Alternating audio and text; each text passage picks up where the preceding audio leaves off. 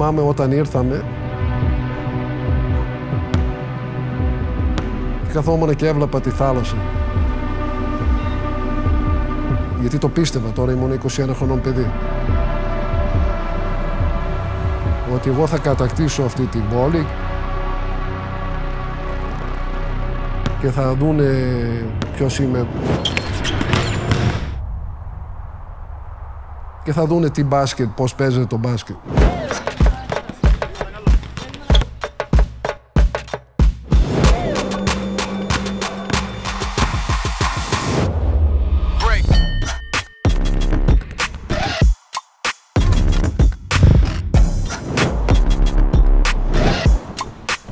Θεσσαλονίκη έχει ένα χαρακτηριστικό. Εδώ ξεκίνησε το μπάσκετ στην Ελλάδα. Το μπάσκετ μπήκε στην ψυχοσύνθεσή μας.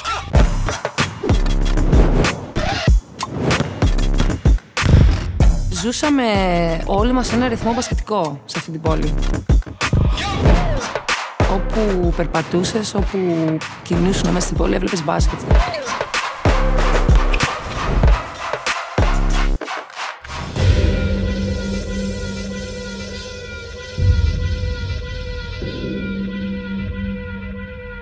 Ήμασταν ε, η γενιά που μεγάλωσε βλέποντας αυτέ οι αναμετρήσει μεταξύ Άρη Πάου. Σουτ για τρεις πόντους και θα βρει το στόχο για να ισοπαρίσει 68. Εκείνη ήταν η εποχή που τη ζούσε η Θεσσαλονίκη πολύ έντονα παιχνίδια. Και υπήρχε μια μαγεία και, μια, και ένας, πολύ, και ένας ρομαντισμός. Γεμίσαν όλες οι γειτονιές καλάθια. Έτσι ξεκίνησε μια πολύ μεγάλη ιστορία για τον ελληνικό αθλητισμό. Here's Rencius. Greece is taking center stage on the international stage. Maltzy for three.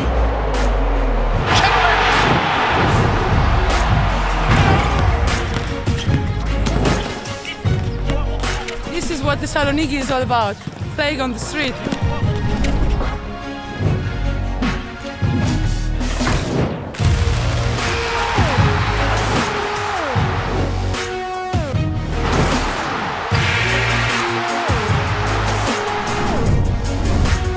Αγάπησα την πόλη, αγάπησα τον κόσμο. Δεν θα ήθελα ποτέ να φύγω από τη Θεσσαλονίκη.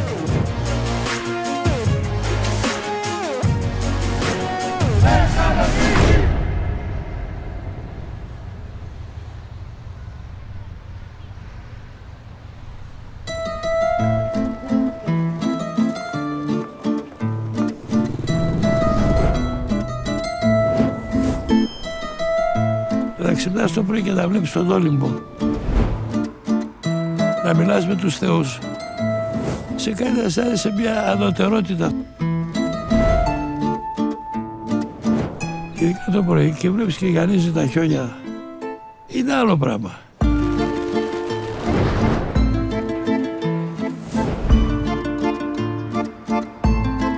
Η Θεσσαλονίκη έχει δύο-τρία χαρακτηριστικά πολύ σημαντικά. Το πρώτο είναι έχει τέσσερα πανεπιστήμια.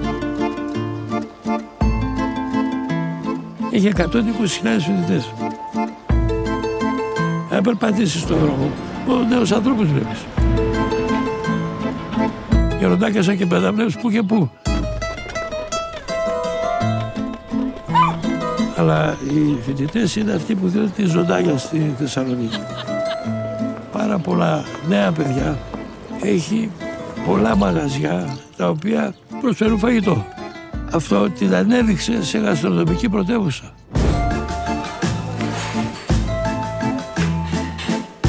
Έχει επιδράσεις από την εβραϊκή κουζίνα, από την ποντιακή κουζίνα, σλάβικη κουζίνα, από την μακεδονική κουζίνα με τις πιπεριές. Έχει επιδράσεις από πάρα πολλές γεύσεις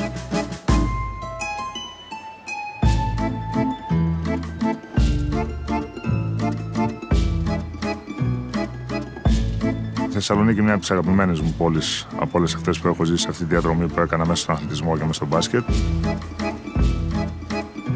Είναι μια ατμοσφαιρική πόλη, είναι μια πόλη που έχει κουλτούρα, είναι μια πόλη που αγαπάει το μπάσκετ. Είναι μια από τις πόλεις που μπορείς να φας πάρα πολύ καλά και αν δεν προσέξεις, κινδυνεύεις να πάρεις και πολλά κιλά.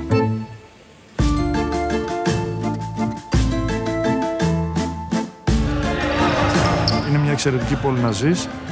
Αν μπορείς να βρεις ε, τη ρουτίνα που χρειάζεται για να ζεις και να απολαμβάνεις την πόλη και να ασχολείσαι με αυτό που αγαπάς, είναι ιδανική. Πάρτε να πάτε! Μαζί σας κι εγώ. Να είστε καλά. Ναι. Φοβερό, καλά που μου το είπες. Εγώ όχι. Η Θεσσαλονίκη, πέρα το ότι είμαι από τη Θεσσαλονίκη, είναι μια πόλη η οποία έχει αναπτυχθεί πάρα πολύ τα τελευταία χρόνια. Δεν ξέρω, κάθε φορά που έρχομαι εδώ και κοιτάω αυτή τη θέα στη θάλασσα, η ψυχή μου ανοίγει. Λατρεύω το κέντρο της, λατρεύω τις επιλογές που έχει, την, ε, το πολιτιστικό της χρώμα, τις διαφορετικές επιλογές. Το vibe. Νομίζω ότι είναι μια πόλη με ένα πολύ ζωντανό vibe. Κάθε φορά που κυκλοφορώ στη Θεσσαλονίκη και πηγαίνω για ένα καφέ, αισθάνομαι, δεν ξέρω, μου φαίνεται πολύ πιο ανθρώπινη, μου φαίνεται πολύ πιο όμορφη. Μ' αρέσει το vibe του κόσμου.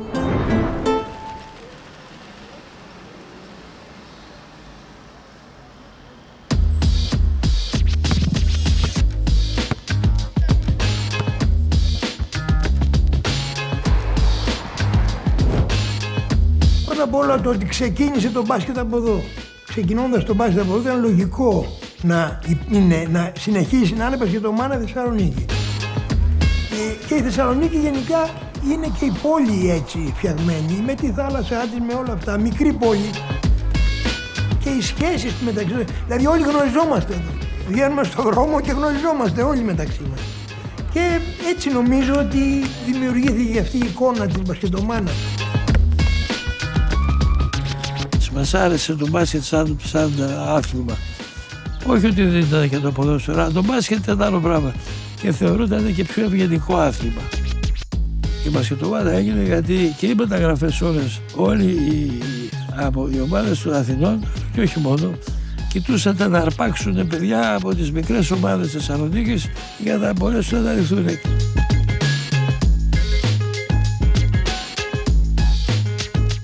μπάσκετ ήταν, ήταν θα έλεγα το πολύ αγαπημένο μας άθλημα. Γιατί είχαμε στην πόλη μας, σε αυτή την πόλη είχαμε δύο ομάδες ε, δυνατές. Είχαμε τον ΠΑΟΚ και τον Άρη. Στον Άρη ήταν ο Γκάλης εκείνη την εποχή στον ΠΑΟΚ ήταν ο Κόρφας. Αυτές οι δύο ομάδες δημιούργησαν ε, ε, όλη αυτή την εξέλιξη στη χώρα μας που μπόρεσε και η χώρα μας πήρε και τίτλους πανευρωπαϊκούς. Φτιάξανε ωραία ομάδα με τα παιδιά τα οποία είχαν στελεχωμένα μέχρι και στην Εθνική Ελλάδος ακόμη. Ήταν ε, τρομερή η αίσθηση που είχα από την πόλη, από τα vibes που είχα από την πόλη, από τους ανθρώπους, σαν παίχτης του ΠΑΟΚ, σαν κάτοικος της πόλης. Ήταν πραγματικά μια μπασκετο, μπασκετούπολη. Έβλεπες μπάσκετ παντού τότε. Ακόμα και τώρα νομίζω ότι ο κόσμος παίζει στους δρόμους, μιλάει για μπάσκετ, αγαπάει το μπάσκετ. Θεωρώ ότι η Θεσσαλονίκη είναι μια από τις πιο μπασκετικές πόλεις του κόσμου.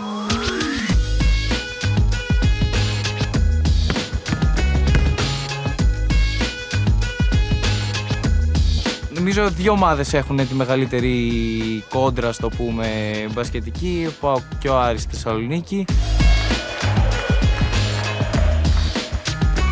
Εγώ προσωπικά δεν χάνω μάτς να παρακολουθήσω με τον πατέρα μου. Βλέπουμε όλα τα μάτς του ΠΑΟΚ, ανεξαρτήτως αθλήματος. Και είναι κάτι σαν παράδοση, ότι ό,τι και να γίνει θα το δούμε μαζί. Η Θεσσαλονίκη έχει 150 σωματεία μπάσκετ υπάρχουν αυτή τη στιγμή.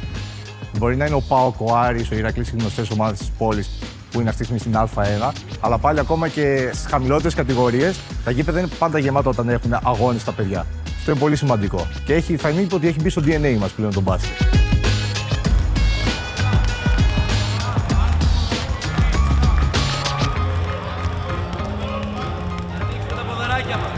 Ανοίγω ποδαράκια από πώς είναι πίσω. Ήρθα σε ηλικία στην Ακαδημία 10 περίπου 11 χρονών.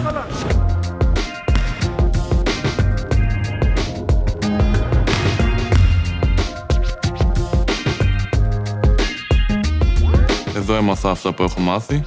Μέσα από τη σκληρή δουλειά έχω γίνει ε, αυτό που είμαι. Ναι, έχω ακούσει την και σταντάρ του NBA, αλλά εγώ προσπαθώ να μείνω συγκεντρωμένο στο στόχο μου. Του χρόνου θα παίξω μαθηνικό και είμαι πολύ χαρούμενος γι' αυτό. Αλλά τώρα προσπαθώ να είμαι συγκεντρωμένος στην ομάδα που είμαι τώρα και προσπαθώ να γίνομαι καλύτερος μέρα με τη μέρα στις προπονήσεις που κάνω. Ο Αλέξανδρος ε, Σαμαντούροβ για την ομάδα είναι ένας ε, πολύ σημαντικός αθλητής.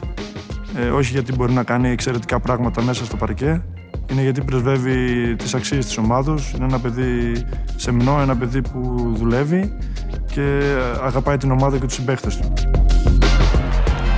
Ένα από τα ιδάλματά μου είναι ο Γιάννης Τοκούμπο. Επειδή είμαστε, παίζουμε περίπου την ίδια θέση και έχουμε πάνω κάτω τα ίδια χαρακτηριστικά. Ε, θα ήθελα να πάρω την αθλητικότητα του Αντιτοκούμπο και το πώς κινείται μέσα στο παιχνίδι. Και επίσης θα ήθελα να πάρω το σουτ του Kevin Durant. Όλες οι συμβουλές που μου δίνουν οι coach είναι πολύ σημαντικές και όχι μόνο για τον μπάσκετ αλλά και για την εξωτερική μου ζωή. Μία από τις συμβουλές που μου έχει δώσει ο κότσο Χατζιβρέτας είναι να μην τα παρατάω ποτέ και να συνεχίζω, και να συνεχίζω στη ζωή μου. Είναι σημαντικό για την ομάδα και για τον οργανισμό της, της 10 υπάρχει ένα παιδί που μπορεί να κυνηγήσει πολύ μεγάλα και ψηλά όνειρα. Για μας το σημαντικό είναι ότι οι βάσεις που έρχονται μέσα από την ομάδα και οι αξίες. Ε, μακάρι το παιδί να πετύχει και να το, το όνειρό του. Αν και η Ακαδημία της 10 είναι μικρό χρόνο στο γήπεδο, ε, σίγουρα υπάρχουν πολλές διακρίσεις. Αυτό θεωρώ οφείλεται στην οργάνωσή της και στην αγάπη που έχουν τα στελέχη και το, φυσικά το πρωταγωνιστικό όνομα ο Νίκος Χατζιβρέτα ε, στο χώρο εδώ. Άμα δείτε ότι, άμα έρθετε στο γήπεδο κάποια στιγμή, ο Νίκος δεν λείπει ποτέ. Είναι εδώ, δουλεύει συνέχεια στο κόκκινο, φυσικά και όλοι οι συνεργάτες. Είμαστε όλοι πάνω από τα παιδιά και δίνουμε την προσοχή μας και αυτά που γνωρίζουμε. Υπάρχει πλάνο, υπάρχει οργάνωση και αυτό θεωρώ είναι που δίνει και την επιτυχία. Τα παιδιά τρελαίνονται για τον μπάσκετ, απλά αυτό που χρειάζονται είναι έμπνευση. Χρειάζονται ανθρώπους να ασχοληθούν ε, πραγματικά μαζί τους και να τους εμπνεύσουν μέσα στο γήπεδο για να μπορούν και αυτοί να αγαπήσουν ε, το άθλημα που έχει τόσα πολλά πράγματα να τους δώσει.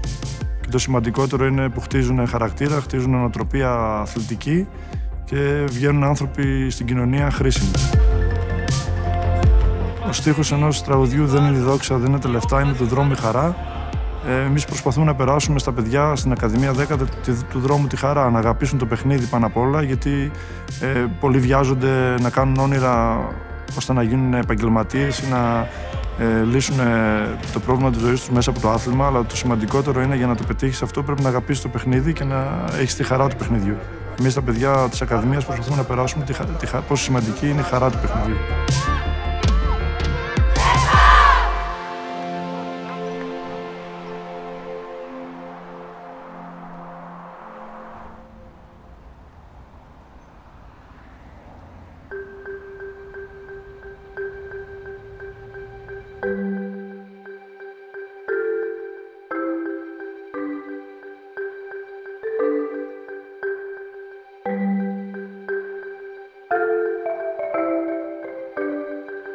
Η Θεσσαλονίκη δεν λέγεται τυχαία μπασκετομάνα. Λέγεται μπασκετομάνα γιατί πράγματι εδώ αγαπήθηκε πολύ το μπάσκετ. Ήταν μια διέξοδος για τους Θεσσαλονικείς. Και η Χάνθ ήταν το σωματείο και έτσι βοήθησε πάρα πολύ το μπάσκετ να εμπεδοθεί εδώ στη Θεσσαλονίκη και σε όλη την Ελλάδα. Τα μπροστά μας είναι αυτός ο οποίος εμπνεύστηκε το μπάσκετ. Είναι ο James Naismith, ο οποίος το 1891 είπαμε ότι στο Springfield που ήταν καθηγητής, νομίζω λέγανε κιόλας ότι ήταν και πάστορας συγχρόνως, ότι αυτός εμπνεύστηκε καταρχήν το μπάσκετ και διαδόθηκε από εκεί και πέρα το μπάσκετ.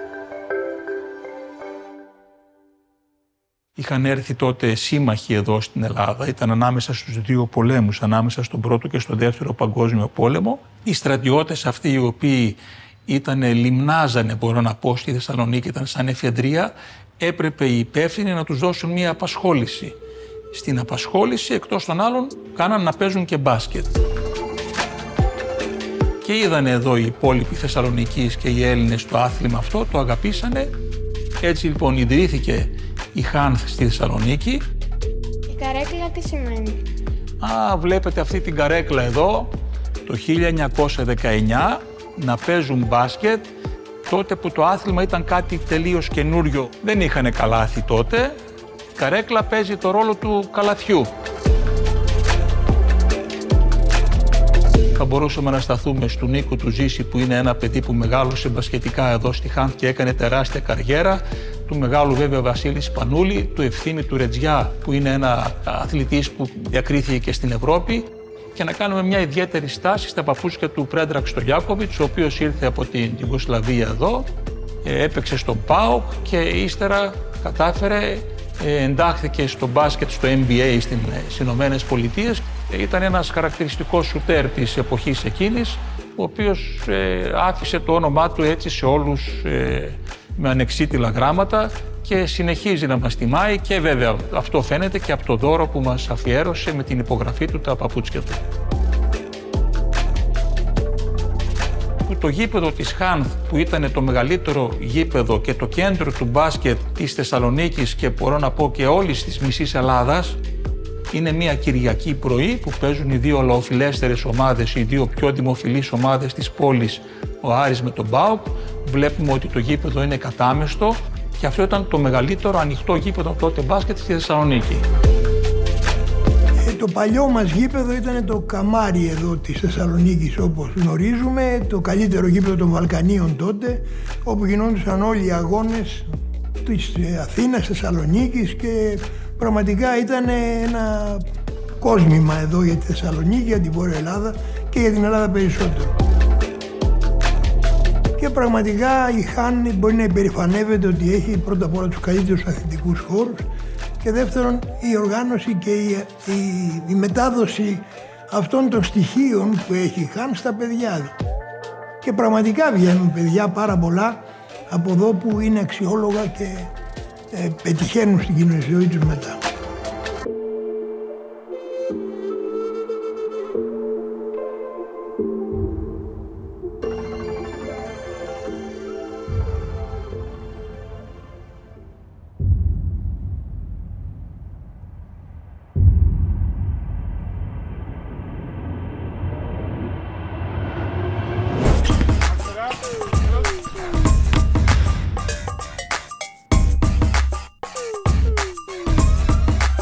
Παίξει για περίπου 30 χρόνια μπάσκετ, μέσα στα οποία υπηρέτησα για 25 την εθνική μας ομάδα. Κατάφερα το 2007 να αγωνιστώ στο WNBA με τους Connecticut Sun. Η αλήθεια είναι ότι ποτέ δεν ονειρεύτηκα όλα αυτά που συνέβησαν στη διαδρομή. Αλλά μια άλλη αλήθεια είναι επίσης ότι όταν κάποτε είδα την εθνική ομάδα μπάσκετ στην τηλεόραση το 87 να σηκώνει το τρόπεο, είπα ότι ήθελα να γίνω σαν αυτούς. Μπορεί τότε να μην καταλάβαινα τι συνέβαινε, αλλά αν τα βάλεις κάτω, γιατί μου αρέσει πάρα πολύ να αποδομώ την ιστορία, ήταν η φανέλα με την εθνική ομάδα, ήταν η διάκριση, ήταν αυτοί οι παιδικοί μου ήρωες, ήταν αργότερα το NBA, οπότε μπορώ να σου πω ότι τα ονειρευόμουν. Ήταν η κρυφή μου πόθη, αλλά δεν φαντάστηκα ποτέ ότι θα μπορέσω να τα καταφέρω.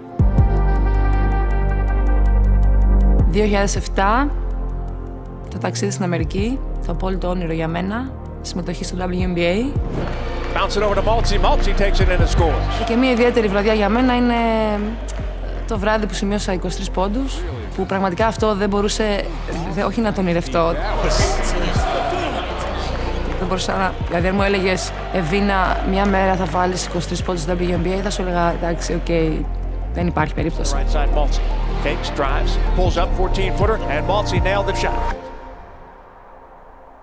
Θεσσαλονίκη, ΠΑΟΚ, Άρης, ε, σπουδαίες προσωπικότητες. Συναντούσαμε τους ε, διάσημους μπασκετμπολίστες στον δρόμο να κινούνται είτε με τα αυτοκίνητά τους είτε πεζοί και σπρώχναμε ένας στον άλλον και προσπαθούσαμε να... Τότε δεν υπήρχαν κινητά τηλέφωνα να βγάλεις μια φωτογραφία, προσπαθούσαμε απλά να τους απομνημονεύσουμε. Εντάξει, τώρα εποχές, με στο Γιάκοβιτ στην πόλη, τεράστια ονόματα. Στη συνέχεια μετακινήθηκα στη Τούμπα και είχα την τύχη, γιατί πραγματικά ήταν φοβερό αυτό που συνέβη, να κλείσει το παλέ για μία εβδομάδα και μεταφέρεται η αντρική ομάδα του ΠΑΟΚ σε εμάς για προπονήσεις. Και συνήθως είχαν μετά από εμάς. Όπως καταλαβαίνεις, κρυβόμουν σε μια γωνιά και παρακολουθούσα. Ο Στογιακοβίτς, ο οποίος ήταν από τους αγαπημένους μου παίχτες, γιατί ήταν και σουτέρ, καθόταν και έκανε έξτρα προπόνηση. Και ήταν η πρώτη φορά που είδα παίχτη να χρησιμοποιεί ε, αυτές τις τεράστιες σκάλες που χρησιμοποιούν στο γήπεδο για να καθαρίσουν τις οροφές, να την τοποθετεί μπροστά του, στη γραμμή του τρυπώντου και να σουτάρει από πίσω.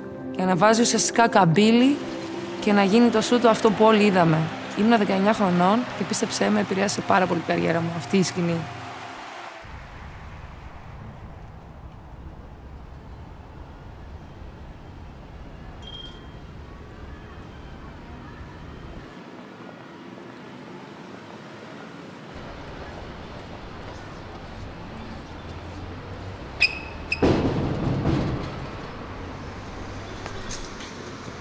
Γεια σας Ευθύμη, καλησπέρα. Έλα, πέρασε. Ωραία. Καλώς πες. Παίξε εσύ Ευθύμη. Εγώ παίζω. Ποια να βάλω εγώ τώρα. Η κίτρινη. Η κίτρινη, ναι. Αυτή είναι, κι εγώ.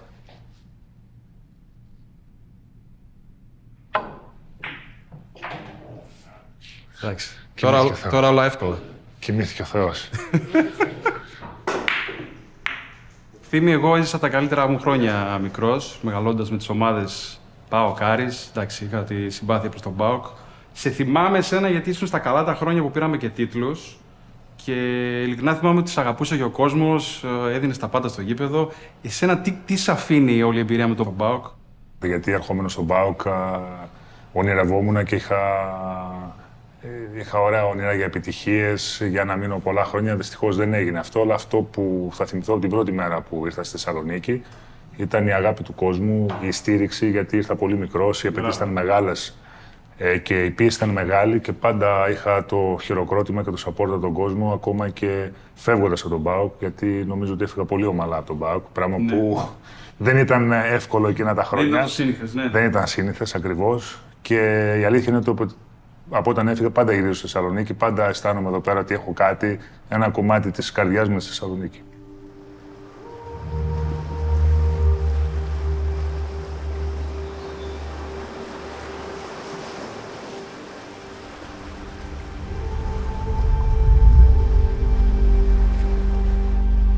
Εγώ αυτό που ήταν η επιθυμία μου ήταν να έρθω να παίξω στον ΠΑΟΚ. Ήμουν ΠΑΟΚ στο μπάσκετ πριν έρθω να, παίζω στο, να παίξω στον ΠΑΟΚ και το όνειρό μου έγινε πραγματικότητα.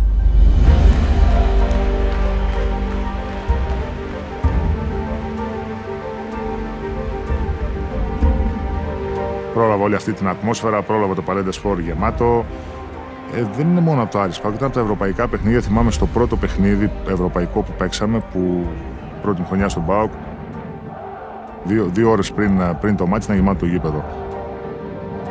Και μπήκα να πάω στα ποδητήρια και άκουγα το παλέ να είναι έτοιμο να σκάσει. Αυτό ήταν απίστευτο. Επίσης το 95 ήταν μια πολύ σημαντική χρονιά, ένας πολύ σημαντικός τίτλος στο κύπελο Ελλάδος στη Λαμία, όπου ήταν από τους τελευταίους τίτλους που πήραμε σαν ομάδα. Και ήδη το μπάσκετ είχε αρχίσει να ανεβαίνει στην Αθήνα. Ο Ολυμπιακός, ο Παναθηνικό κάναν καλύτερες ομάδες, πέφταν πολύ περισσότερα χρήματα στο μπάσκετ.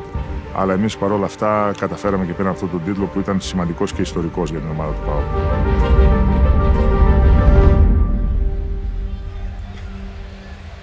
With the 23rd pick in the 1996 NBA draft, the Denver Nuggets select Efthymius Regius from PAOK in Greece. As Rick Pitino pointed out a little while ago, Greece is taking center stage on the international scale here as far as making moves into the NBA. Your thoughts on uh, Rencius? Η επιλογή μου στο νούμερο 23 του draft του 1996 ήταν μια μεγάλη έκπληξη για μένα γιατί δεν περίμενα να επιλεγώ στον πρώτο γύρο ε, ούτε να, να μπορώ να δηλώσω ότι θέλω να φύγω διότι οι εποχές ε, τότε ήταν πολύ δύσκολες στη Θεσσαλονίκη να πεις ότι θέλω να φύγω από τον ΠΑΟΚ δημόσια, να πεις ότι θέλω να πάω στο NBA. Οπότε ήταν τεράστια έκπληξη σε αυτό το ιστορικό draft εγώ να είμαι στο νούμερο 23.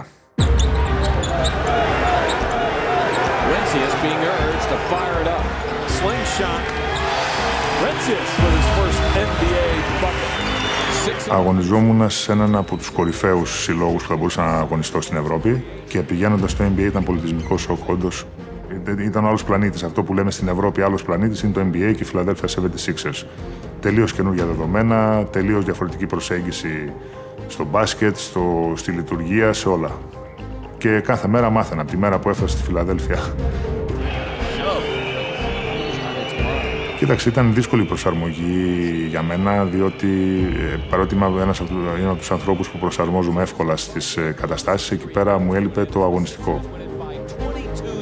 Ήταν πολύ δύσκολο να, να διαχειριστώ το ότι δεν έπαιζα, το ότι δεν ήμουν στους παίχτες που υπολόγιζε άμεσα, άμεσα ο coach. Αλλά παρόλα αυτά, μιλώντας και με άλλους ε, συμπαίχτες και φίλους που είχαν πάει πιο πριν από μένα, ήταν η ρούκη χρονιά, θέλει υπομονή και θέλει ε, κάθε μέρα να αποδεικνύεις ότι παλεύεις για να κερδίσεις ε, εμπιστοσύνη και χρόνο στο γήπεδο. Η συμπεριφορά του οργανισμού ε, σε μένα ήταν απίστευτη και ο Λάρι Μπράουν την πρώτη μέρα ήταν δίπλα μου και όλο αυτό ήταν πάντα κοντά μου όλος ο οργανισμός για να με βοηθήσει να προσαρμοστώ όσο πιο γρήγορα γίνεται στα δεδομένα. Ο Άιβερσον ήταν όντως στην προπόνηση, έκανε προπόνηση; Ναι. Έκανε προπόνηση μαζί του; Έκανε προπόνηση. Ναι. Και έκανε σκληρή προπόνηση. Θεωρώ ότι είναι και λίγο μύθος ότι δεν έκανε προπόνηση. Έκανε σκληρή προπόνηση. Και ήταν, ήταν, ήταν πάρα πολύ ανταγωνιστικός σε πληροφορίες στην προπόνηση, περισσότερο και από πολλούς ρούκες. Ήταν τόσο ανταγωνιστικός στην προπόνηση. Iverson for the record. Yes, and there it is. Allen Iverson. Ο Άιβερσον είναι τεράστιος παίχτη. Τεράστια προσωπικότητα, τεράστιος παίχτη. Ένας άνθρωπος που πραγματικά έδινε και την ψυχή του μέσα στο γήπεδο, είτε ήταν η προπόνηση είτε ήταν το παιχνίδι.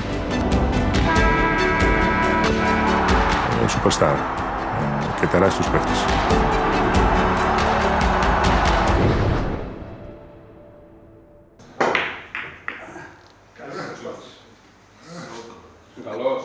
Είμαστε στην Trace and Chase. Είμαστε το μεγαλύτερο κατάστημα συλλεκτικών καρτών και μοραμπίλια στην Ευρώπη.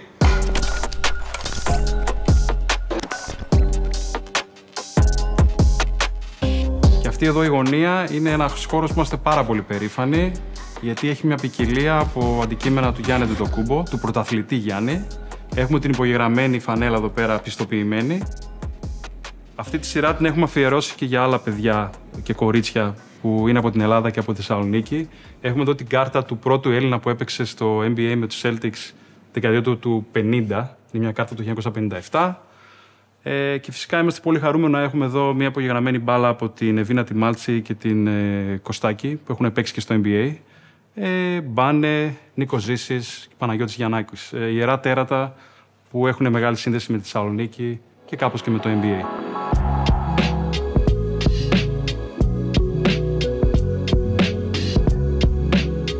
Και εδώ πέρα έχουμε ένα εξαιρετικό αντικείμενο πάρα πολύ σπάνιο. Είναι η μπάλα από το Hall of Fame του 2017, όπου μπήκε ο Νίκος Ογκάλης, με την υπογραφή όλων των αθλητών, προπονητών, την οποία μπορέσαμε να τη βρούμε με πολύ κόπο. Η Θεσσαλονίκη έχει το όνομα την Μπασκετομάνα από, την... από τον Γκάλι και μετά. Άρχισαν να φτιάχνουν την εποχή του Γκάλι ανοιχτά γήπεδα σε κάθε γειτονιά. Τα παιδιά βγαίνουν έξω με μια μπάλα, αρχίζαν να παίζουν μπάσκετ. Και είχε σαν αποτέλεσμα, ε, αυτό είναι η κληρονομιά από εκεί και πέρα. Και οι γενιές να μεγαλώσουν με αυτό.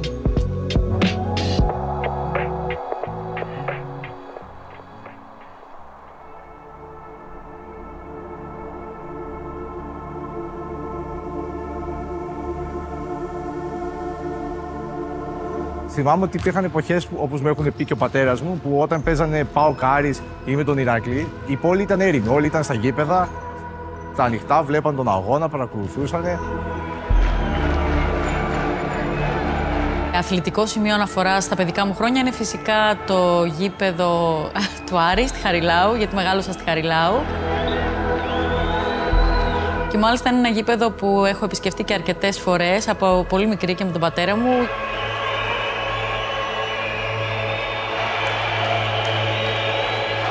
Αλλά πάντοτε αυτό που θυμάμαι μπασκετικά και μέσα στα γήπεδα είναι αυτός ο παλμός. τόσοι πολλοί άνθρωποι, χιλιάδες άνθρωποι μαζεμένοι, σαν να είναι ένα σώμα, οι οποίοι είναι παθιασμένοι και πορωμένοι με κάτι. Αυτό μου έκανε τρομερή εντύπωση.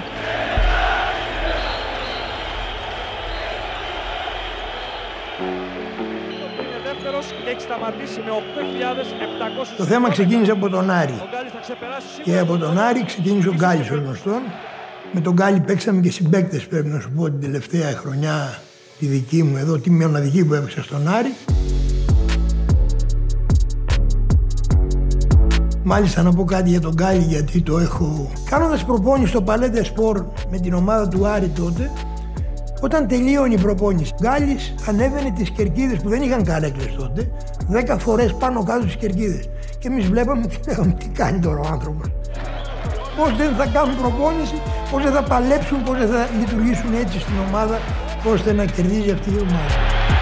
Γκάλης, ένας εναντίον τριών. 74-73. Περνάει για πρώτη φορά. Ο Γκάλης ε, για μας ήταν ένας παιδικό, ήταν ένα παιδικός ήρωας, ένας άνθρωπος που άλλαξε πολλά πράγματα στις ζωές μας, γιατί μας έβαλε, έβαλε τον μπάσκετ μέσα στα σπίτια ολονών.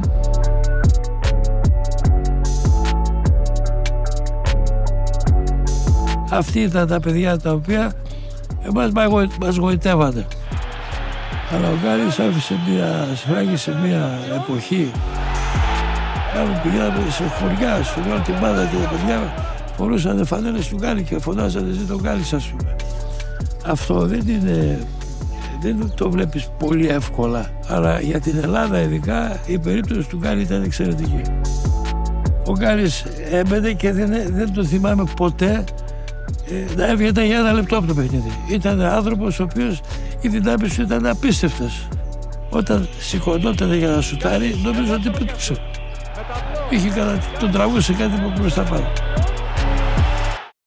Ε, Είχαν σκηνιά που πάνω και με κρατούσαν.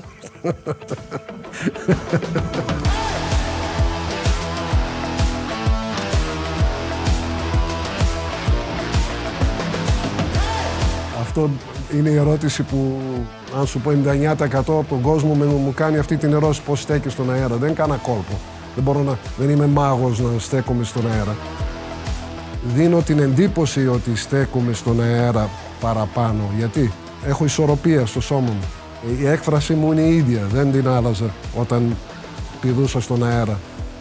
Ήμουνα πολύ γυμνασμένος, που σημαίνει ότι μπορώ να ισορροπώ στον αέρα και να κρατηθώ για λίγο παραπάνω από τον άλλον ε, για να μπορώ να κάνω ένα σουτ όταν πέφτει ο άλλος.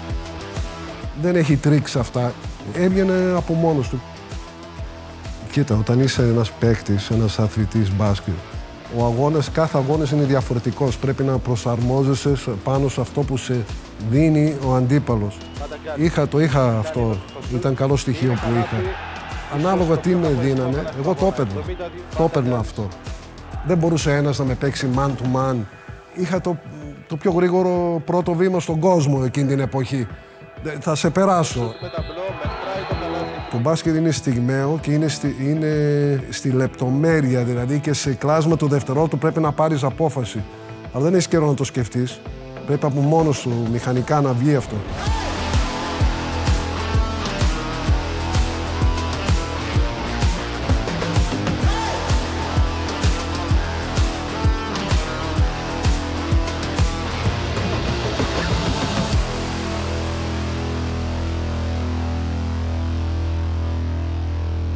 Εδώ κάποιες φάσεις από παλιά μου θυμίζουν πολλά. Πανηγυρισμούς μετά από πρωτάθλημα στα ποδητήρια. Πολλά. Εδώ λες ότι κάποιος τράβηξε την καρέκλα από κάτω ενώ καθόμουν εδώ στον αέρα. Εδώ είναι το και jump shoot. Προσπαθούσα να πηδήξω πάρα πολύ ψηλά σε όλα τα jump shoot μου.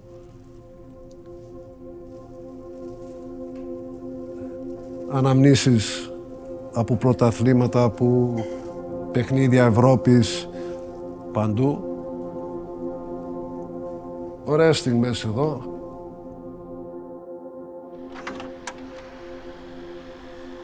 Στην Αμερική έπαιζα, σαν μικρός, έπαιζα όλα τα αθλήματα που παίζανε μαζί με τους φίλους μου.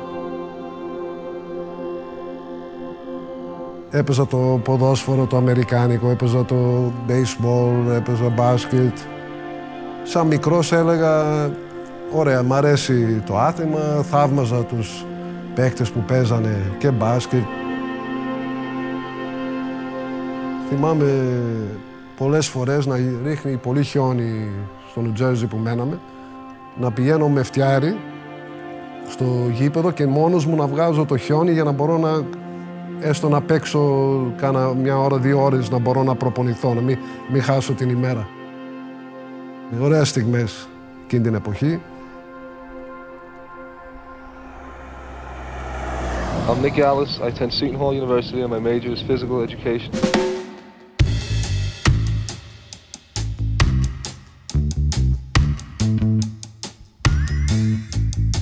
Όλη η οικογένεια μου ήταν, είναι και ήταν Έλληνες.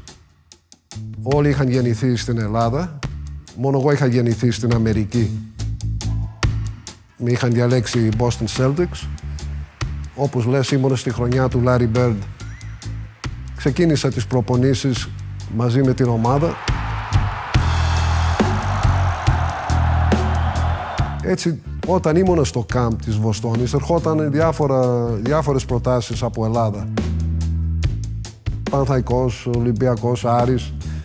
Ερχόταν και μου λέγανε και εγώ, εγώ στην, ε, στην αρχή δεν ήξερα ότι είχε μπάσκετ η Ελλάδα. Ε, μου λέγανε όχι επαγγελματικό ακόμα, αλλά εντάξει, μας αρέσει το μπάσκετ. Και με ερχόταν με προτάσεις που ήταν διπλάσια από αυτά που είχα με τη Βοστόνη. Ε, και σαν φτωχό παιδί λέω, ας δοκιμάσω την τύχη μου, ας, πάρω, ας πάω εκεί που μου λένε ότι μπορώ να πληρωθώ καλά, γιατί είχε σημασία για μένα, ήθελα να βοηθήσω την οικογένεια μου. Και άμα θέλω, μπορώ να γυρίσω αργότερα. Ε, ήρθα και δεν γύρισα.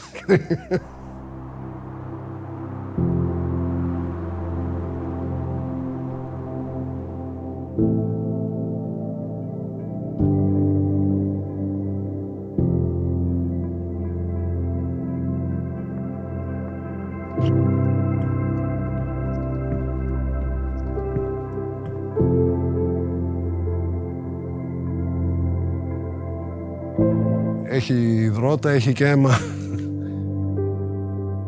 Είναι, πράγματι είναι από τα μεγαλύτερα κομμάτια της ζωής μου. Χαίρομαι πολύ που μπόρεσα και φόρεσα αυτή τη φανέλα. Την τίμησα τη φανέλα.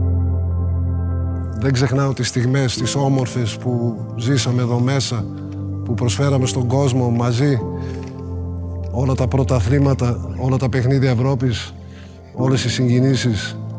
Πραγματικά είναι σαν το σπίτι μου αυτός ο χώρος.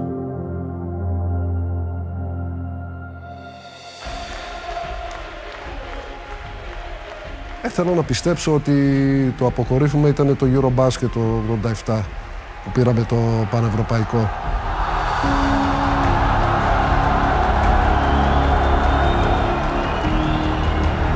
Ήταν στιγμές που είναι δύσκολο να τα λες τώρα σε, στα νέα παιδιά και στον κόσμο τώρα που δεν θα ξαναζήσουμε γιατί ήταν η πρώτη φορά ήταν η χώρα πεινασμένη για μια διάκριση και ήρθε αυτή η διάκριση από το πουθενά; Από τα παιδιά που παίζανε μπάσκετ μέσα στο γήπεδο.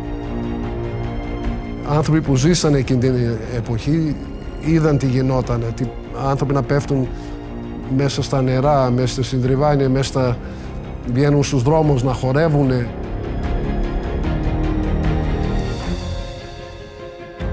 Μια εικόνα που έχει μείνει πολύ χαραγμένη από τα παιδικά μου χρόνια είναι όταν στο Ευρωπαϊκό Πρωτάθλημα το 87 ήμουνα πολύ μικρούλα την τηλεόραση στο δωμάτιο των γονιών μου, στη Χαριλάου, ανοιχτά τα παράθυρα, γιατί αν δεν κάνω λάθος ήταν καλοκαίρι.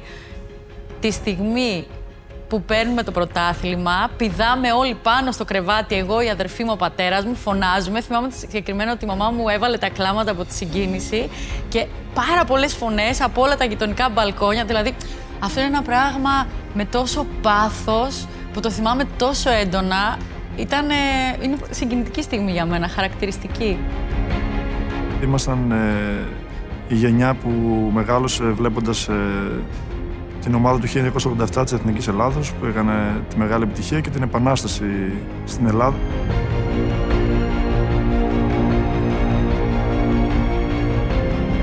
Όλο τον κόσμο το σημάδεψε εκείνη η εποχή και η μεγάλη πορεία του Άρης στα κύπελα Ευρώπης.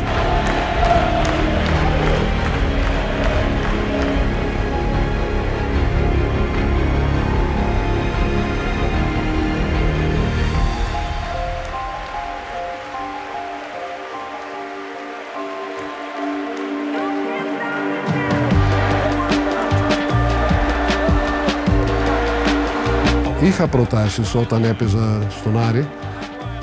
Είχαν έρθει από Φιλαντέλφια, από Λος Άντζελες. Είχα προτάσεις να γυρίσω. Δεν ήθελα.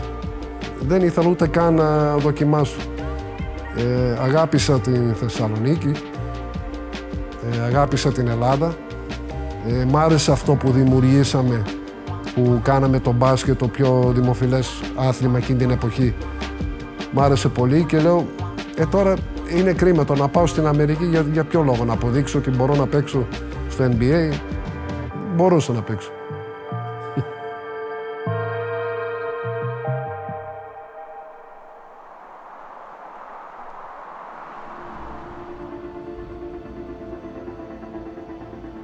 Η αλήθεια είναι ότι δεν μπορείς να απομονώσεις από αυτό το ταξίδι καμία στιγμή. Δεν θα ξεχάσω ποτέ τη μέρα που μπήκα στο Madison Square Garden. Και απλά ήμουνα στο κέντρο της γης σκεφτόμενοι ποιοι έχουν αγωνιστεί εκεί μέσα και τι event έχουν γίνει και τι σημαίνει όλο αυτό.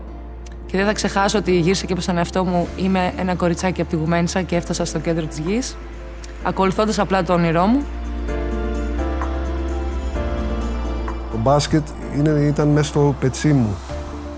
Ήταν κάτι που αγάπησα από μικρός και το αγαπάω ακόμα. Θέλω να πιστέψω ότι άφησα, τι έδειξε στον κόσμο τι σημαίνει να είσαι επαγγελματίας με όλη την έννοια της λέξης. Δηλαδή, επαγγελματίας είναι να δώσεις όλο τον εαυτό σου για να πετύχεις κάπου. Δεν είναι κάτι που έρχεται εύκολο. Άρα, εγώ νομίζω ότι δείξαμε στον κόσμο, δείξαμε στα νέα παιδιά ότι για να πετύχεις κάπου πρέπει να έχεις θυσίες. Να θυσιάσεις πράγματα για να μπορείς να πετύχεις αλλού.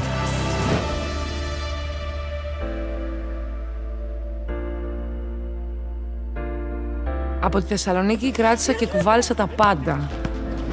Και μπορώ να σου το πω με σιγουριά τώρα πια που είμαι αρκετά πιο όρημη και παρατηρώ καλύτερα και τους ανθρώπους και τις κουλτούρες και τις συμπεριφορές.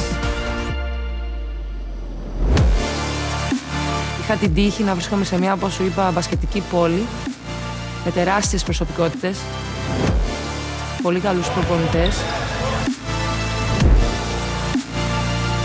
οι οποίοι ασχολήθηκαν μαζί μας όχι μόνο για το μπάσκετ μπάσκετ, αλλά για το τι κάνει αυτό το άθλημα στην ψυχή μας.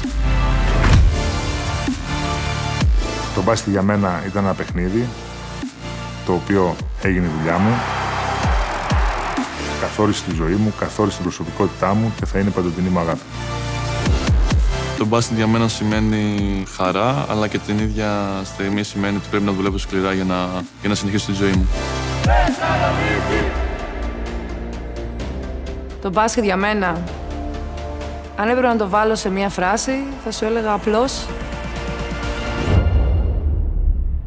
τα πάντα.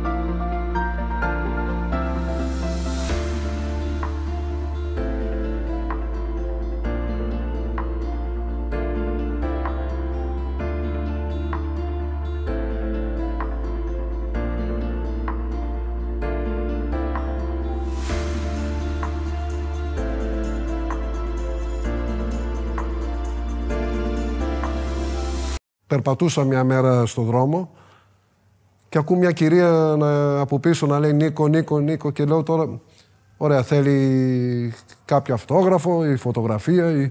Και, και δεν θέλω λέει τίποτα, θέλω να σου πω ευχαριστώ. Τι λέω γιατί; Λέει, έσωσε το παιδί μου από τα ναρκωτικά, σ' αγαπάει πάρα πολύ. Όταν βλέπει ότι έχεις μπει και έχεις πετύχει αυτό το πράγμα να μπορείς στην κοινωνία, να μπορείς να βοηθήσεις 10 άτομα, λέω 10 άτομα εγώ ε, τουλάχιστον, ε, δεν υπάρχει μεγαλύτερη αμοιβή για μένα και για έναν αθλητή. Αυτή είναι η αξία. Αυτή είναι, αυτή είναι η αμοιβή για έναν αθλητή. Και ήταν ε, από τις πιο, πιο συγκινητικές στιγμές της ζωής μου.